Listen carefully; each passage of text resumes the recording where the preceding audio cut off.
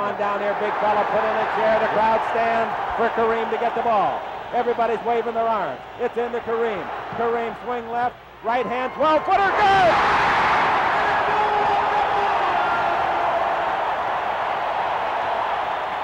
The pictures tell the words. They love their captain. They love their leader. And suffice to say, ladies and gentlemen, the new king of scoring has ascended his throne. Looking for James. He's got it.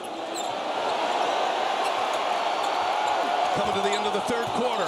LeBron James, a shot at history.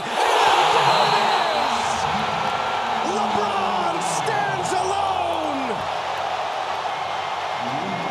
The NBA's all-time scoring record now belongs to LeBron James.